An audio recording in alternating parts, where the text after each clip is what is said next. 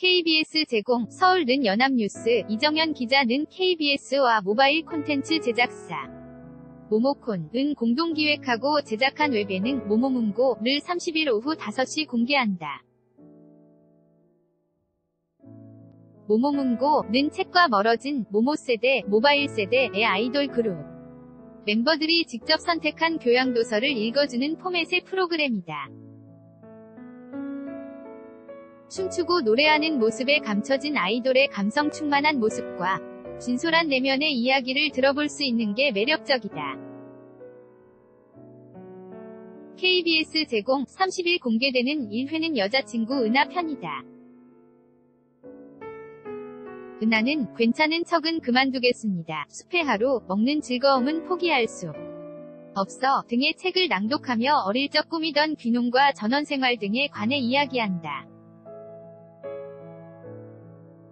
9월 6일 공개될 2회는 여자친구 유주, 13일 3회는 사우스클럽 남태현. 20일 4회는 라붐 솔빈이 출연해 각자 인상 깊게 읽은 책들을 소개해준다. 모모문고는 매주 목요일 오후 5시 KBS 디지털 플랫폼 홈페이지 마이케이, KBS 엔터테인먼트, KBS 콩 유튜브 채널 등 과 외부 플랫폼 네이버 TV 등을 통해 공개된다. 11월 2일까지 총 10회 방송될 예정이며 10여 명의 아이돌 스타가 출연한다.